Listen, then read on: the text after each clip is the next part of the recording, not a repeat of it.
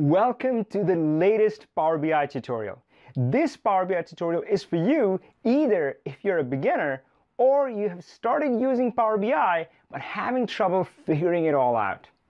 I'm Avi Singh, Microsoft MVP and best-selling Power BI author, and in this tutorial, we will take you from zero to dashboard and from rookie to pro. We're gonna break it down and make it super easy for you as we take you step by step through Power BI. As we build our dashboard, we would walk you through the Power BI process to author the model, publish it online, then have you and other users consume the beautiful dashboard and reports. But our main focus would be on the authoring step, which is the most crucial step. As you continue to watch all the way to the very end of this video, you would learn how to use the query editor, the kitchen of Power BI, to connect to your data and clean up your data. You will learn about relationships and DAX measures, the heart of a Power BI model, and how to create beautiful visualizations. Here's a list of topics I'll be covering, and the links are in the description below. So you can jump to a specific topic anytime you want. I would recommend watching this whole video first, then come back and follow along step by step using the download files. This tutorial is complete in itself, but at times I may mention more advanced material which you can watch next. All the links, including the one to download files, are in the video and in the description. This is a slightly fast-paced video packed with a lot of good stuff. If you would prefer a slower paced tutorial, I would link to that as well. Or if you feel you already know this stuff, then check out my advanced videos on modeling and DAX. Now, if you get stuck anywhere in this tutorial and have any questions, you can ask me directly on my live Talk Power BI show every single Friday. Just make sure to subscribe and click that bell so you are notified whenever I go live to answer your Power BI questions. Just one tip for the best quality playback throughout this video, change the auto quality setting. Instead, select one of the HD options. When you hear Power BI, I want you to think two things Power BI Desktop and PowerBI.com. We're going to talk about PowerBI.com in the end, but we would start with Power BI Desktop because it's the one tool that you must master to get started and eventually become a Power BI pro. Power BI Desktop is the authoring tool used to create Power BI models and reports. There are three phases to developing a Power BI project. The most critical step is author, and you do that using Power BI Desktop. Let's take a look. First, make sure you have Power BI Desktop installed, and for that, you just Google Power BI Desktop download and go from there. If you need more help, then we're going to link to a video which gives you more detail and tells you about the different options. So once you have Power BI Desktop and you launch it for the very first time, I remember when I did it, it was scary. I was staring at this big white screen and I wasn't quite sure what I needed to do. Well, this time I'm here to help you. So what I'm going to tell you is that Power BI, think of Power BI as a machine, as an engine. And an engine needs its fuel. And what is the fuel of Power BI? It's data. It's your business data and it loves that, right? The messier, the better. And the way to get data into Power BI is is this section right here. So we're going to start over here in this section and we're going to start with the get data button which is right there. So once you click on that button, you're going to see that it shows you a few of the common options right there. So you can see it right there, but we're going to click more just so we can experience the awesomeness that Power BI has to offer. So for one, you can see right away that it has the ability to connect to lots and lots of different data sources. And even if the one that you you are trying to connect to is not listed here, which is pretty rare, but still you might be able to connect to it using either ODBC or OData feeds or some generic connector like that. So pretty much doesn't matter what your data source is, you would be able to connect to that. And again, you can see a long list of sources. And again, uh, we're gonna we're gonna see some example of that, but you can connect to more than one data sources and bring it all together into one single model. So you can be selecting maybe one file from your uh, SQL Server and then uh, one table from your SQL Server and then something coming from Excel, something coming from a SharePoint online list, and on and on and on. And all of that, you can combine it into this one spot. So we're going to start with our data source, and we have an Excel file in this example. So I'm just going to uh, select that and click Connect. Now, based on the data connector you, you choose, it's going to ask you different questions. For example, SQL is going to ask you the look in the name of the server, credentials, and so forth. For Excel, all we need to do is to point it to that specific file, and this file is part of your download, so go ahead and use that file. So I specified Power BI that, hey, this is the file to connect. And once you specify the data source, what it's doing is it's, it's, examining that data source, whatever it is, Excel, SQL, Access, or something else, and it's checking what is available inside of that. And that's what it comes back and shows that to you in the navigator. Now in Excel, sometimes this can be confusing because it might return what look what would look like hey it's showing me the same thing twice so notice here this has this date date key and if you go here these look similar because in excel it shows you the sheets and if it finds tables excel tables inside it shows them as separate as well and you can tell that by the icon it's using and the fact that tables uh, show up as the table name. So in this case, we have these clean tables. Now, if you do have a choice like this, I would always select the table just because tables have more crisp boundaries, whereas sheets sometimes, you know, how you can mess up the boundary of that. So in this case, I want you to just simply select the top tables up here. And you can see that as you click on something, it shows you a preview of that. So if your data source has lots and lots of tables, this can be a quick way to kind of just glance and check to make sure that you're getting the right thing. So we're going to select all of this and we are going to click load. Now you're seeing what it's doing right now is it's actually connecting to your data source, whatever you would supply. In this case, it's Excel, but could be SQL. And what it did is it made a copy of that data set. So nothing changed on this screen, but let's talk about this layout. We zeroed in on this get, get data. So you might see panels here, and we'll talk more about that. But already on this fields panel, uh, I didn't expand it earlier, but earlier this would have been completely blank. And now you can see these tables are being shown here.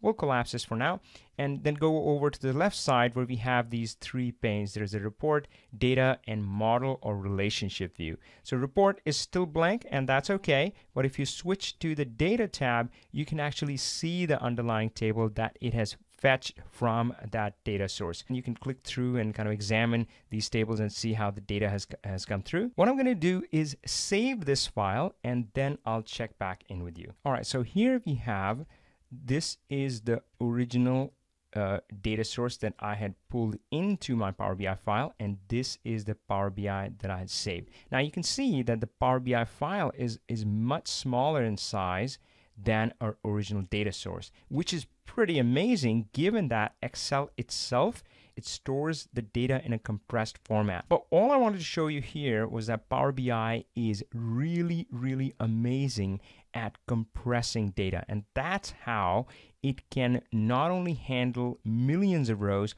but hundreds of millions of rows and beyond. I'm going to show you the third view, which is the model or relationship view, which is right there. And if you click on it, you will see that you see the tables here as well.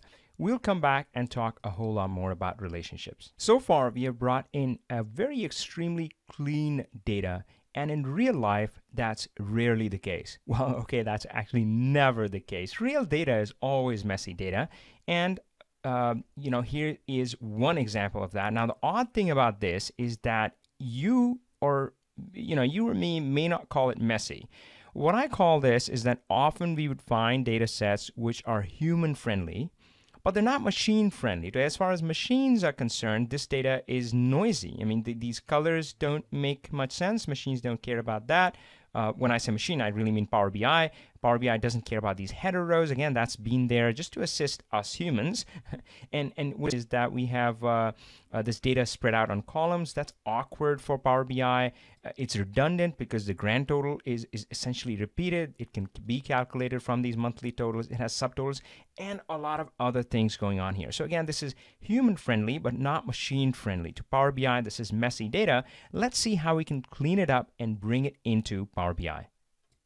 So we're going to go back again to our get data and click Excel from this drop down. At this time, we're going to select our messy file, the budget file, which again is part of your downloads as well. Now it does the same thing. It examines the file and checks what's inside. In this case, it's just one uh, sheet. So it, it's uh, we're going to select that. But this time, we're not going to click load because we're going we're going to enter a magical realm, my friend, the kitchen of Power BI. Are you ready for that? So when you click edit, watch what's going to happen. It's actually going to pop open a new window. So I'm going to, uh, you know, make this window a little bit smaller as soon as it gives me a chance. So there you go. So you can see how the Power BI window is in the back, but now this new query editor window has been opened.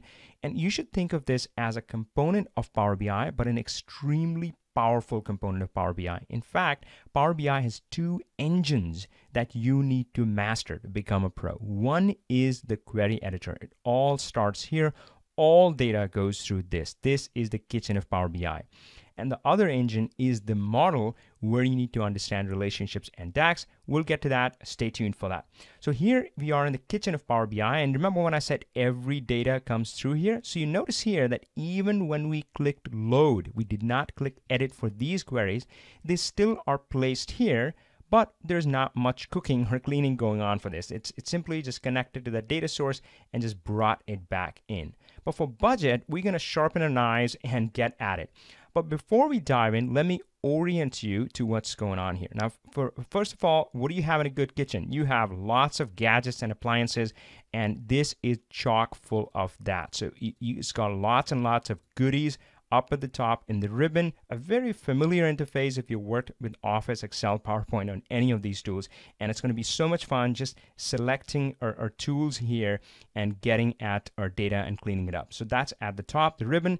On the left side here, of course, you're seeing the queries. Now you can organize them in groups and folders as well. I'll let you explore that on your own. That's usually needed only when you have uh, lots and lots of queries. Let's say you end up with 40 and 50 tables uh, going through uh, to Power BI. On the right side here, we have the query settings pane and it has a name, which is really important because this is not just the name in the query editor. This is the name it's going to end up with in your model as well. That's what's going to show up. So you want to give it a good name if it doesn't come, if it comes with a quirky name or something like that. And applied steps, the part you see over here, this is where all the magic happens. Now, Power BI does try to help us out a little bit here. So let's uh, let's get started and cleaning up this data. The first thing I want you to do is go over to the applied steps and just delete this change type and promoted headers. So Power BI again was trying to help us, trying to make the best guess of what it needs to do with the data, but it didn't get it right that time, and that's okay. We'll excuse it for that. All right, so now we're gonna get it to work. Now you see the first thing I notice over here are these header rows, header rows, which are again are there for humans. Machines don't need them. This is just you know FYI, and we would rather focus on the data, which is the budget amounts. So we need to remove these rows. And again, what I talked about the kitchen of Power BI, you have all the utensils and knives and everything available to you over here. So the, the one we're looking for here is this remove rows. So I want you to go ahead and click on that and from here select the remove top rows option. That's going to pop up a dialog box and ask you how many rows and in, in our case we want to remove the first three. So I'm just going to type in three and hit OK. Now, here's where I want you to watch really carefully because if you blink, you might miss it. So I'm going to hit OK and watch what happens. So first thing that happened is those three rows were actually removed. So in the middle, it's showing us a preview of the data as it's working on right now. So those rows are gone, but whoa, remember I said this is where the magic happens? Watch what happened here. It added a step here. I'll come back and talk more about this, but yeah, keep your eyes uh, you know, glued to this section. Watch what watch what it does. So remove the top rows, and now what do we need to do? Oh gosh, look at that. I mean, I, don't want it to be called column one, column two. I have my headers right here. I wish there was a button which would make the first row as headers. Uh, wish granted, my friends. There it is. Use first row as headers. So go ahead and click that. You see how easy it is? It's just, you know, I love doing this. So use first row as headers. And again, you notice the change in the preview pane, but more importantly, you also see it as recorded here. So promoted headers. And again, sometimes it tries to help you and adds steps on its own. You may or may not need that. We'll, we'll leave that in for now. All right, so we promoted headers. Now the next thing we need to do is notice here that there are these subtotal rows. Again, they're redundant as far as Power BI is concerned. So we don't need that. To filter these out, I want you to click on this, this triangle, this filter icon next to the column name. Once you click on that, it's going to show you a lot of options. Now, sometimes these options are actually, well, these options may depend on the type of the data field. So if it's a numeric field, you would see instead of text filters, you would see, actually, let me just show it to you really quick. So it'll say, hey, number filters, and then you can say greater than, less than, and so forth. But let's come back over here, and here we're going to say text filters does not contain the word total. Now, watch out though, because Power BI, uh, the query editor piece is case sensitive. So uh, make sure the T is capital and you type it just like that. And again, we're going to hit OK and watch the magic happens.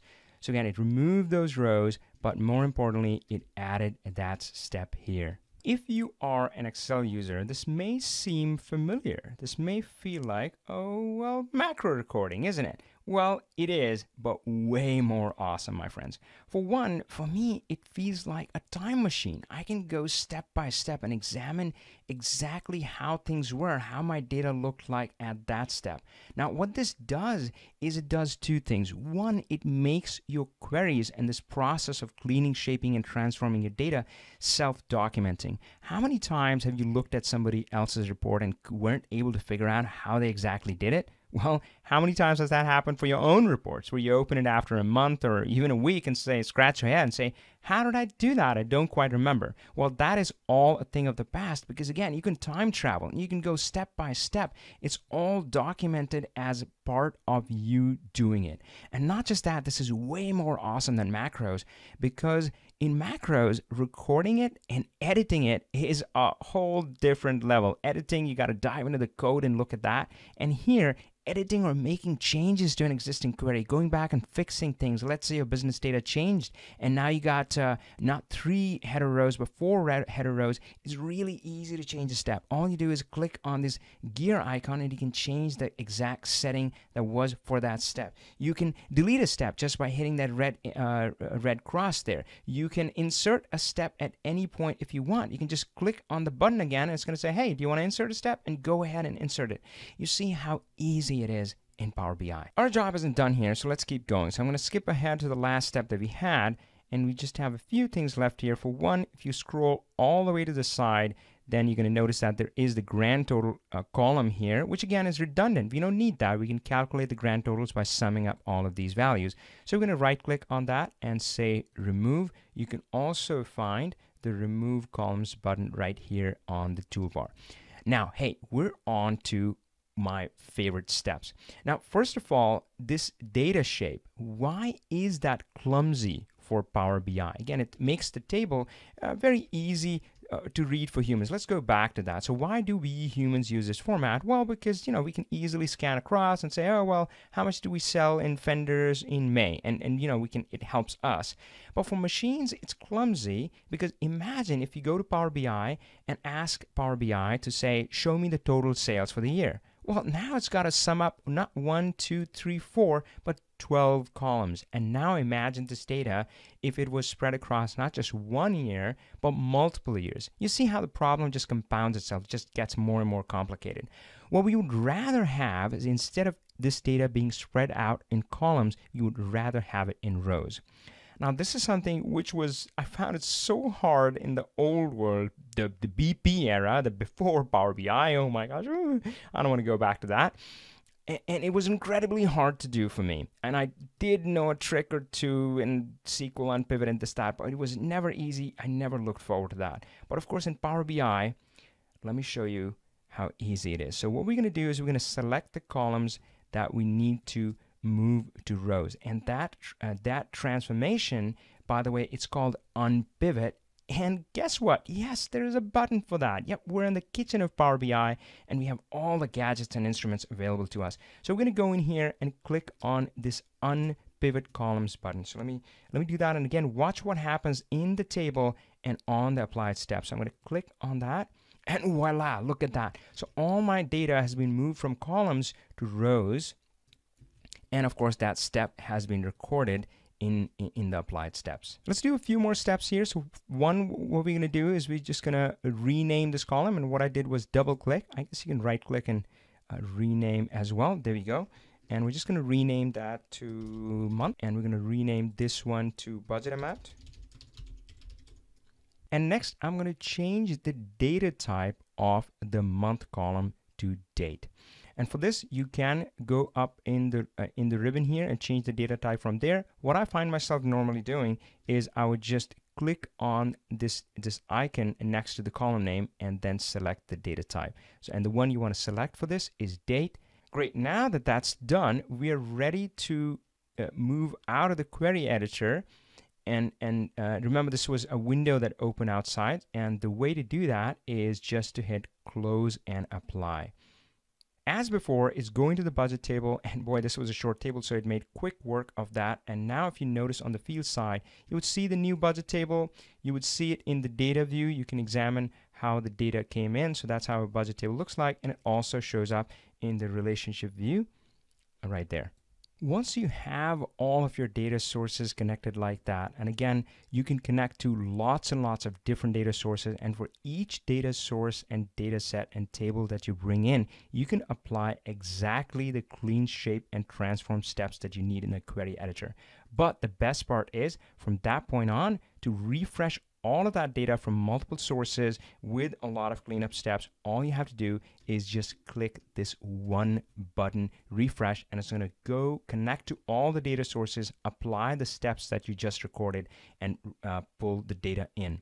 Now, if you get tired of clicking this button, you can also automate the data refresh in Power BI. We're going to talk about that later. Let's talk about the next exciting concept in Power BI, which is the magic of relationships. Now for this, what I'm going to do is I'm going to delete these lines, uh, these relationships, these lines represent the relationships which have been created by Power BI by default and rearrange the tables as well. And I'm just going to right click and delete this. So let me do that, rearrange the tables, and I'll be right back. I am back and our tables are nice and pretty. Now, when I work with my students and my clients, I place a lot of emphasis on how these tables are arranged, and I always arrange them in a very specific pattern. Now, this might seem silly putting so much emphasis on this, but this is important because this underlies a really important concept. Now, my friends, here's a secret to really becoming good at Power BI is you build models not reports. Most people in Power BI, all they care about is the visualization, and that's their end goal. And they have that in mind, like, oh, I want to build this report and it needs to show sales by year or whatever, right? Whatever report you're building on. But every Power BI report should be underpinned by a really strong, robust model. And for that, the this that's why this stuff is important. So the way I've arranged these tables is is with the data tables at the bottom and the lookup tables at the top. Now we're going to have linked to a separate video which with more details about data and lookup tables and their differences and also about uh, Power BI modeling best practices. But for now, I'll give you a quick version. Data tables record transactions and they have lots and lots of rows and they're really tall. So sales can have, uh, well, this one is short, it's sample data, but this can have millions and millions of rows. So that is our data table. It's tall and it's intentional that I, I made this tall. Now, our lookup tables are the who, what, where, when, how. So if you look at sales, well, who bought it? What did they buy? The product. Where did they buy? Territory. When did they buy? Calendar. And sometimes you capture additional attributes in the how. So these are the lookup tables, and they're usually not as tall, not as big. If you had 100 million sales transactions, well, hopefully you didn't sell it to 100 million different customers or you didn't sell 100 million different products. It's just not going to happen in a real data set. So maybe you would have a few hundred or thousand or maybe, uh, you know, so less number of customers. So these are our data tables and these are our lookup tables. Now, traditionally, if you are, are, are you know, are an Excel user, what you would do next is you would do a VLOOKUP from here to there. So you would say VLOOKUP the product key to the product table and just bring in everything down and essentially flatten the table, create one big flat table now, you don't need to do that. All you need to do is drag and drop, and that's how easy it is to can create the relationship between these tables. So I'm going to expand this just a little bit so I can see. So I'm going to take product key, and here I am kind of just dragging it, and I'm going to drop it on the product key over here, and again, the direction doesn't matter. And that creates this line which represents the relationship. And if you hover over that, it's going to highlight the columns that it, uh, that are connected. I'm going to do the same with the customer key. So again, this time, again, the direction doesn't matter. It automatically de de detects which one is the data, which one is a lookup table. And if you if your tables are set up correctly, well, in this data set they are, uh, uh, then the way it would look like is it'll have this one on here and star on this side. Now, a little bit of technical speak, this is indicating a one-to-many relationship. What that means is that the customer key in the lookup table is unique. It only appears once and whereas in sales, a customer key can appear multiple times because, hey, the same customer can come in and buy multiple times. And the other thing I'm going to point out is the directional arrow on this relationship. Now, this, this again, if you did things right, this should point down to the data table from the lookup down to the data table. Uh, and generally, your relationships when you're starting out should look like this. Now, there are other patterns. There are many to many relationships, there are bi directional relationship, and we're going to link to a video which covers all the details of that. But when you're starting out, your relationships should typically look like this. Until you understand when you use those other types, you should not use them. Let's go ahead and connect our, our, our other tables using the keys. So I'm going to drag the sales territory key over here and for the calendar table, I'm going to take the order date and connect that to the date column in the calendar table. Nice, now that's done. Let's also give some love to our budget table. And we're going to do the same thing. I'm going to connect the product key to the product key in the product table. And I'm going to use the month budget data as a monthly level to connect to the calendar date. Just a quick note here on the calendar table. That is one of the most powerful tables in Power BI and almost, well, every data set should have it.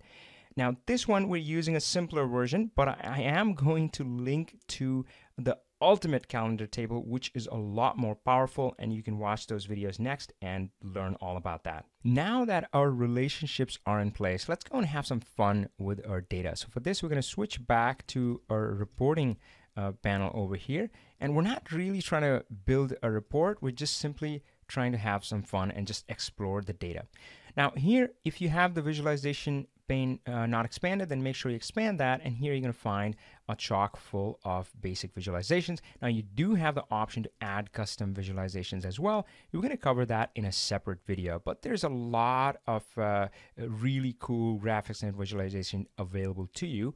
We're going to start with the one that's called the card element, which is right there. So you click on that and it places it on uh, your report page over here. So and and then now you can add fields to it. So again, here in under that, now once I have this selected, I have these three panes here. Let's uh, go through them. So there's the fields, there's the format, and then I think the last one is analytics. So first one, fields, the card one only takes one value.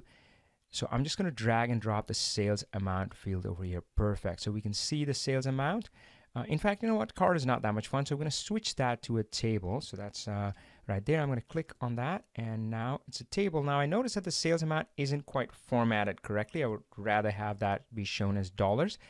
Um, in fact, even before that, what I'm going to do is switch to the format pane, search for size, and just make that a tad bit bigger. So let's go with maybe 12 font. Perfect. So it's a little bit bigger. And again, I want to format it as dollars. So I'm going to go to the modeling tab and say I want this to be uh, currency. And I'm going to change the decimal places to zero. All right, so that's taken care of. And yep, so you can see sales amount here. And, and, and again, this is the power of relationships. Now I can go to my calendar table and slice and dice it any which way I want. Let's start by slicing it by year. Now, sometimes Power BI does this, um, well, which would seem silly to you, but hey, it's just trying to help you the best it, it thinks it can. But sometimes it'll do something like where it's, uh, you can notice here that it's actually doing a sum of the calendar year, which of course is silly for us. But you can easily fix that by clicking on the drop down over here and just saying it, don't summarize. So instead of sum, you're going to say don't summarize.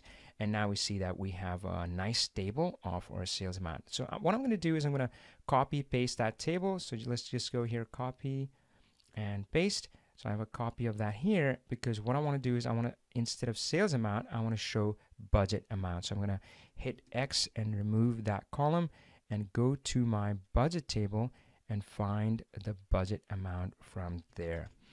Cool. So I'm going to quickly reformat it as well as we had done the other field. Perfect. Now you can see that we only have budget for one year. So why don't we add a filter just for that year so we can dive in deeper in that year. So for this, I want you to expand the filter pane over here and you would notice two sections in here. One is filters to apply just to this page or filters on all pages. And eventually you are gonna end up with uh, adding more report pages as and when you need to build uh, additional reports. But for now, we just have one page. So what we're gonna do is we're gonna drag our year over to this filters on this page and then we'll change this to basic filtering. Um, you could do this in advanced filtering as well, but basic filtering, and we'll select the year 2016.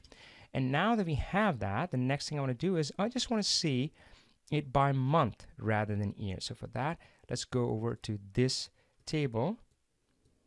I'm just trying to move them apart.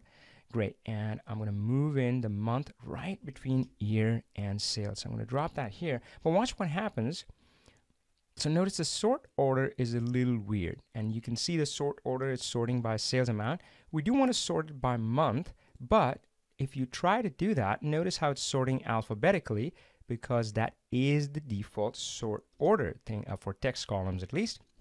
You can change that though. We don't want our months sorted alphabetically, and you can do that by selecting the month column in in uh, from your field list, and then go to the modeling tab, and then select sort by column dropdown and you can tell it to sort it by a different field. And the field that we are going to use is the month number. That way, January has the month number one, so it becomes the top of the list. And once you have made that selection, you would notice that it's now sorted correctly. Let's do the same for our budget table. And this time, uh, once you have done the sort by column, you don't have to do it again. Notice that it's already showing in the correct order. So you can see the power of relationships here where they essentially work like filter transmission wires. So just by connecting it with this table, now you're able to slice and dice sales by any of the customer attributes, any of the product attributes, any of the territory, or any of the calendar attributes. Let's do one more table where we're going to take our sales amount. So let's do a, new table and uh, let's add our sales amount over there. Perfect. Let's uh, make the font a little bit bigger. And this time I'm going to go to the territories table and grab the country and slice and dice it by that. I might as well collapse this filter pane. And again, I'm going to drag in country. Perfect. So you can see how we can slice and dice data any which way we want. Now, the cool part here is that notice here that we had the sales amount and budget amount, and we could see them side by side, but you do not have to. In fact, I'm going to copy over this table, put it on the side over here, and once, when you connect your data tables and lookup tables in this manner, you can put the, the numbers are sliced and diced them side by side. So right here in this table, I can also add the budget amount and you can see I can see them side by side in the very same table. The only rule to follow is this. You can only slice and dice using the connected tables. The sales table can be analyzed by customer, product, territory, and calendar. Budget table can only be analyzed by product and calendar. And when you place elements from multiple tables together, you can only slice and dice using the common lookup tables. Follow those rules and the world is your oyster. Let's step into the magical realm of DAX. DAX stands for Data Analytics Expressions. And it's essentially Power BI's formula language. And it is one of the most incredibly powerful features in Power BI.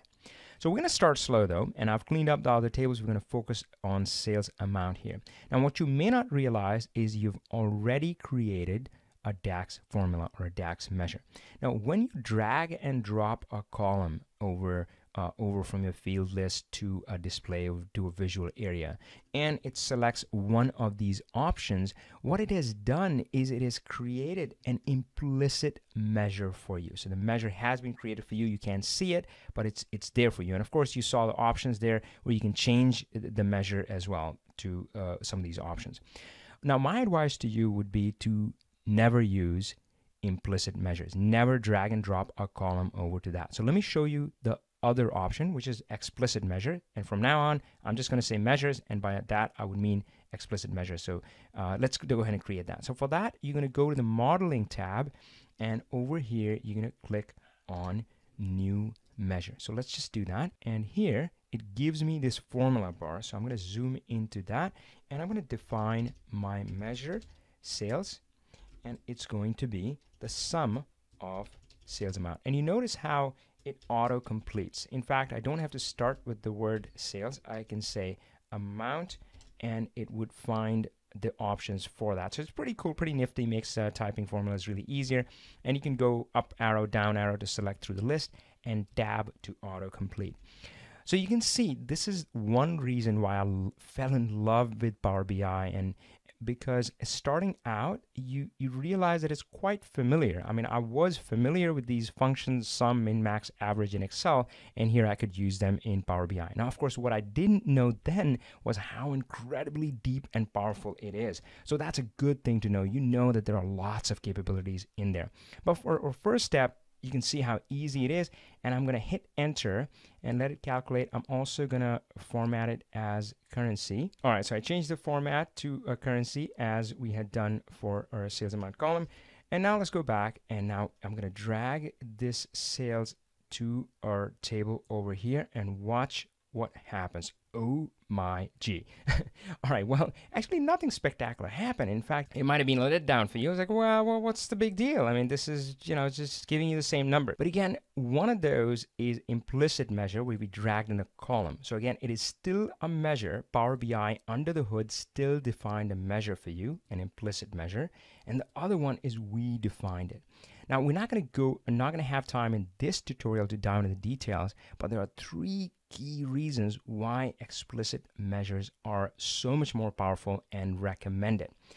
They are control, reuse, and impact on connected reports. So we're going to link to a video that goes into more detail, but going forward, we'll focus on defining our measures ourselves. When we were creating our measure, you might have noticed the button next to it to define a different kind of calculation, not a new measure, but a new column. But before we get into that, we're going to save the file and look at the file size. Now, this might seem silly, but believe me, we're going to check the file size again and it's going to reveal something really fundamental about Power BI. So now we're back here and let's go on our merry way to create our first calculated column. So for this, I'm going to stay in my sales table. So again, I switched to data view and selected my sales table over here. And here, if you notice that we have the sales amount and tax amount in separate columns. Now, what if we wanted to add these two to essentially get a total of these two? So for that, we are going to cl uh, uh, click on new column and it's going to give us a formula bar as before. So now I have this formula bar, but it starts with the column name. I don't want my column to be called column. So let's change that and we're going to call it total sales amount. And for this one, we're just going to add these two quantities up, just kind of how you might do it in Excel. So I'm going to say, give me the sales amount plus the tax amount. Great. And actually, it is the best practice when you're referencing columns to prefix it with the table name. So we're going to follow that. And I'm going to hit enter and watch what happens over here. Let me quickly reformat this just so they look a little bit prettier and we'll come back and continue. So I've reformatted them and I've also scrolled down just so we look at some interesting data. And here you can see it is doing what it's supposed to. It's just adding these two numbers up and giving us the sum. But now let's do the acid test of saving the file and checking the file size again. All right, so that is our new file size with the calculated column that we added. Could we define the same calculation instead of as a column as a measure? Well, let's try it out. So what I'm going to do is I'm going to come in here and copy this formula and this time we're going to click the new measure button right there. So I'm going to click that and again it gives me that formula bar but this time it wants me to define a measure. Great, I'm going to paste the same one and I don't want to give them the sale, same name so I'm just going to say total sales and let's see if it works. Now already you can see that there are signs of trouble. Those red squiggly lines are telling you something is off. But if I hit enter, I get back this error. Now, what's going on? I mean, clearly that formula was good. It was working here. Why would it not work in a measure? Well, my friends, so this is one of the fundamental one of the fundamental differences between measures and calculated column, which is the idea of a row context. Now, I'll admit when I heard these terms row context and there's another one you would encounter filter context, they scared the heck out of me. And sometimes things won't work. And like, oh my gosh, I gotta, I gotta try to figure out what's going on with the row context or the filter context. Well, it turns out that they're fundamentally simple concepts. So row context is simply the knowledge of the current row. So when you're in a calculated column, and as Power BI is going through these uh, values and just trying to calculate them one by one, it obviously, uh, let's try that again it obviously knows the row it's on and that gives it the row context. Now what that means is when you reference a column directly as we are over here, which is saying uh, directly to the column, right? And this is also called a naked column reference where we are uh, referencing it directly. Now this works because it has the row context in a calculated column. But when you go to a measure, notice that the measure you know, it didn't show up as a column over here because the measure is not part really part of the table. So here there is no row context. In measure there's no built-in row context. Now you can create it, but we'll save that for a later video. So since it does not have the idea of a row context or idea of a current row, when you reference a column directly, it's saying which value. I mean, you're, you're asking me to get sales amount, but I have lots and lots of them. Which one do you want? Again, because it's lacking the knowledge of a current row. Now, the way to fix that is to wrap these naked column references and put some clothes on them. And you do that by uh, the wrapper we're going to use are aggregation measures, aggregation functions. And one of them is sum, and that's, of course, what we're looking to do. So we're going to wrap this in a sum, and uh, I'm not sure why the squiggly line is still there and I'm going to wrap this in a sum and hit enter and see what it does. Now, perfect. So it calculated. Now, again, you don't see it here because, again, measures are not stored as part of the table. That is another big difference between measures and calculated column. So to see that really uh, have it sink in, we're going to save this file again now after having defined a measure and see what the file size is. All right, so that is our new file size. And if you notice that there was only a very minuscule change, and that is again one of the key differences between measures and calculated columns. Calculated columns, every single number here that you calculated in this column is being stored back to the file. So every new calculated column that you add to your model will increase your file size. Whereas measures, the only really thing that it's storing is the measure definition and it's not stored back into the file. Instead, measures are always calculated dynamically. We're going to link to a separate video which goes into more detail about the differences between measures and calculated columns. But let's go back to this view and start exploring the new uh, calculated column and measure that we have created. So I'm going to remove the sales amount and sales and instead bring in my total sales amount column and my total sales measure. You can see that the end result looks deceptively similar right? It's giving you the same numbers, But if you think about the underlying approach, if you keep adding calculated columns, and uh, I know for Excel users, this this feels easier, this feels more tempting but understand that you're going to add bloat to your model. Every single column you add, it increases its file size, and that also means that it increases its memory footprint when it's loaded in the model, and that's gonna that could slow the whole model down. So instead of imagine if you write 10 or 50 or 100 calculations, there's a huge difference if you use calculated columns versus measures. So measures is the way to go. It's more compact, more efficient, and always dynamic. And again, click on the linked video in the description to find out more about the differences between measures and calculated columns. Hey, if you're still with me through this part of the video, I would really request that you subscribe and hit the like button to show your support for this video and our channel. Now that we have all fallen in love with measures, let's go ahead and define some more. So I'm going to remove these from over here and I'm going to bring in my sales measure and also bring in my budget measure. Oops, actually, I remember we had never defined a budget measure. So we're going to define it pretty similar to how we have a sales measure. So I'm just going to go to the budget table, click anywhere in there, click new measure, and, and just type it out. All right, we have that measure defined. We'll put that on here. And now you can see that uh, we can visually compare and we can see, hey, when sales was higher. But of course, we don't need to. We can define what I call a hybrid measure, which goes across sales budget. And defining that is as easy as this. So I'm just going to say new measure. And really what I'm looking for is variance, that how, how what was the difference between sales and budget. So let's go ahead and define that. All right, now let's add that on there.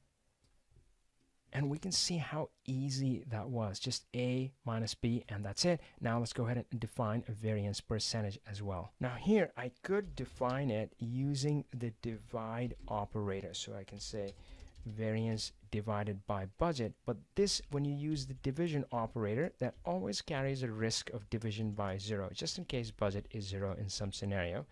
So the way out is use the divide function, and you can see it says right there, it's a safe divide function with ability to handle divide by zero cases. So why not? I know, let's stay safe. And here you need to specify the numerator and denominator uh, as its two parameters. The last one is an optional parameter, and you can leave that. That's just what to return when uh, when there is division by zero, and by default it returns blank, which is good enough for us. So, uh, and of course, let's format it and let's add it to our table. Now, I just want I want you to stop and acknowledge and pat yourself on the back, my friend, for what you have achieved here. So what we have done is not only defined measures across two different data tables and being able to slice and dice them together, but also define hybrid measures which are effectively operating over both data tables. Now, doing something like this in the old world, in the in the BP era before Power BI, would have been really nasty and ugly. And in fact, I had you know, I was I would often create two separate pivot tables and have some calculation on the side of the pivot table. I call them side table deductions. I would let you come up with the acronym for that. And yeah, these were extremely fragile and prone to breaking, and they were not robust at all. And what you get here in Power BI is what I call the define once, use everywhere magic of measures. So once you have defined this in variance or variance percentage, you can take any any of these parameters and slice and dice it any which way you want. So I can say, show this to me by category or uh, subcategory, and all of that just works. Let's uh, see it in its table so we can take a better look. There we go, and that's just scratching the surface. But the idea is this that this approach applies to all data tables. So I know I'm just showing here sales and budget, but doesn't matter what your data set is. It could be headcount, headcount, shipping, or invoice or inventory. Doesn't matter. Once you pull it into Power BI and arrange it and model it in a structure like like the way I showed you with the data and lookup tables and connected with the power of relationships. And then you define measures, and automatically they have the magic of define once use everywhere. You can define hybrid measures across any of the data tables that you bring in and slice and dice them any which way you want using your lookup tables. Our next goal is to go from this blank slate to this beautiful and interactive Power BI report. But you may be wondering that we spend so much time focusing on the query editor, the kitchen of Power BI, cleaning, shaping, transforming data, and we spend so much time talking about relationships and DAX. And only now, so late into the video, are we finally talking about visualizations. Isn't Power BI about visualizations? Well, my friends, that's where a lot of people go wrong, and and and you know that's not the path to becoming an expert in Power BI you have to realize that the strength and power of Power BI lies under the hood, and it's in these two engines the query editor and the model. And so, it, it, you know, remember the 80 20 rule 80% of your focus and effort as a Power BI author, Power BI model developer should be on these two things. And if you do these right, then creating visualizations is easy as you're going to see just now. So again, this is the end report that we're trying to create. So let's get started. You've already seen that in the visualization pane is chock full of pretty amazing visualizations that you can drag and drop or place on your blank slate here. But there are also options here to add a text box, image, and shape. So we're going to start there. So I'm just going to add a text box and give it a label. And next, I'm going to click on the image button here and bring in our AdventureWorks company logo. The next elements I'm going to add are these card elements at the top. So let's go ahead and place the card element here. I'm just going to click on that and that places it somewhere randomly on the page. And first thing I'm going to do is grab my sales measure that is right there and I'm going to drag and drop it onto there. I'm going to copy this a few times, paste, paste, paste. And I have four of those and I'm going to make it the sales budget variance and variance percentage. So this one becomes uh, budget and actually you, you can't drag and drop it on there but if you drag and drop it onto the fields you can replace that. So that becomes the budget. Great. The next one is the variance and I'm just going to move that here and this one is the variance percentage. The display units you would notice is automatic right now. If you like you can change that to none or just show that in millions. That's up to you. We're going to change it to none just to see the actual value right there Next, we're going to place a shape element just to make sure that this uh, really pops out our high level data. So we're going to size it to change the line. Uh, we're going to change the weight to uh, to be really small. Okay, so the line is gone. And next, I'm going to change the fill color. So for that, I'm going to go in here, fill color, and I'm going to make it really light. So I'm going to increase the transparency as well, about 60% and that looks nice. And what I'm going to do is I'm going to move this thing to the back and, and then I can move it behind uh, these visuals that I have here. Let's go ahead and place the other elements on our report. Now folks, I might go a little bit fast here. The point that I wanted to convey was that building reports is part art part science. So in this part, it's not really important if you follow what I'm doing click by click and visual by visual and, and take full liberty to create and craft a report to your liking. Let's start with a bar chart and yeah, we're to place it right there.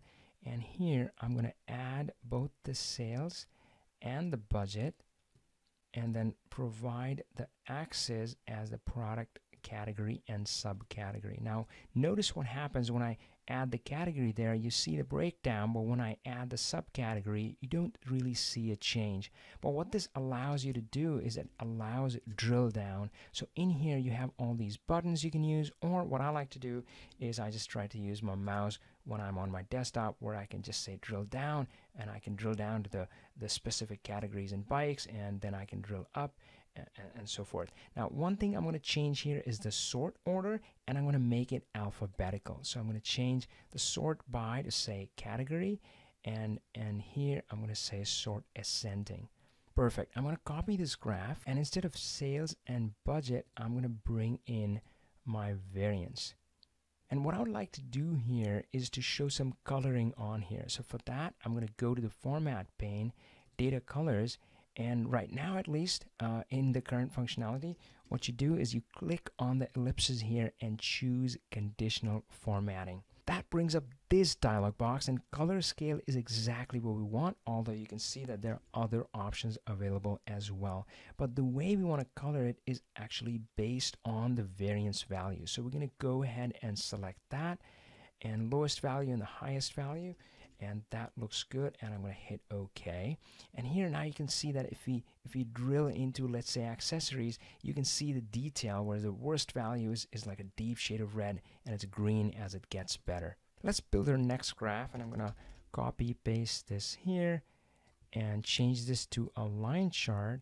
And instead of category and subcategory I'm going to bring in my month and from my lookup table, the calendar table. I'll copy paste that again, change this one to a column chart, and instead of budget and sales, I want to show variance here, similar to the graph above. And I'm going to add color to it the same way I done it for the graph at the top. The last two items are, we're going to add are this detail, a little bit of detail showing our top products and top customers. So let's add a table element over here and I'm going to grab the product name from the product lookup table. Product name, great. And I'm going to grab the sales from this table. So I'm going to do three things here. First, let's change the size to be a little bit larger. And also turn the totals off because we don't really need the total. We're already showing the total over here. So gonna, I, I just search for total and turn that off. And the last thing that I'm going to do is I don't want to see a scroll bar here. I really want to see only the top products. Now I can sort it descending my sales, but notice how there's still a scroll bar. So for that, what I'm going to do is expand the filter pane and I notice here that when a visual is selected you have additional options. So once a visual is selected you can specify additional filters just for this visuals and that's what I'm going to do. So I'm going to say product name instead of basic filtering I want to use the top N filtering and in this case, I want to have the top 10 items, but it also asks you with using what top 10 based on what. And for that, I'm going to add back in the sales measure that I'm going to, I'm showing here and apply filter. And notice now it's just showing me the top 10 values. Now we're going to recreate this using uh, customers. So now instead of top products, we're going to show top customers. That's it. Our report is ready and this is fully interactive. So you can click on on something and see what was going on specifically detailed in that month. You can drag thing here and still select to see that. And of course we saw the drill down earlier where you can drill down into specific category and select a specific subcategory if you needed to. And everything in that report is going to filter down just to that selection. We have come so far. We've gone through all these steps and are now ready for the next phase which we would start by publishing a report Publishing your report could not be easier. The publish button is right bang in the middle on here and all you have to do is click publish. Now the first time you do this you might need to create a Power BI Power BI account but it's free and it's really easy. Now here instead of my workspace which you should be choosing I'm just gonna use a different workspace. Now this is a pro feature which requires a paid license. And I'm going to link to a video which talks to you more about the Power BI licensing. But again, if you select My Workspace, which you should, then that does not require a paid license and that is that you can use with creating a free profile on powerbi.com. So click select and there goes off sending your model to the cloud and publishing it to powerbi.com. That's done. So what we have done is we have taken the model that we authored with so much with so much love and now we have put it up in the cloud and that can be used by hundreds of users. Let me show you how. Here we are in I'm using a Scratch workspace, but again, for you, it would be just your My workspace. So go to that and what you would see in here are these tabs. Now we're going to start on the dataset tab right there.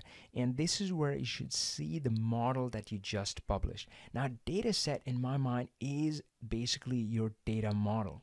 Now what you can do here is if you scoot over to the reports tab over here, you're going to see there's a report as well. Now if you open this report, this should look familiar. This is what we've been building on all along. So your report has been is there as well. But what this does is this concept of separates the model from the reports. So if you go back to our main workspace, uh, the report just becomes one report that is connected to the dataset. You can go back to the dataset and click on this icon right here to create as many Power BI reports as you want. So again, what this gives you is that this new blank canvas and I can just say, give me sales by month and there you go. I've created a new report and this is the strength of the Power BI platform. You have this one data source, a single source of truth, and now you can create multiple, lots and lots of Power BI report all connected back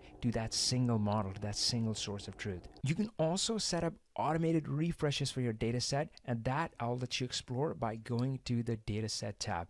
And again, once that single source is refreshed, all the connected reports will automatically be refreshed. And as you can see by the icons here, you can also create Excel reports that are connected back to the model. And all you have to do is click on this and say analyze in Excel, and that will let you create an uh, an Excel report which is, which is connected back to your single model.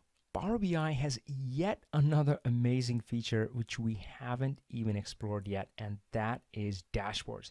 Now, you have seen a report, and report is something that you build in the Power BI desktop. And right now, we just have a single page here, but you can create a report with multiple pages, and that's what identifies a PowerBI.com report. You can have multiple pages on here, and it gives you this rich, detailed, and interactive look, look where you can slice and dice and click and explore your data.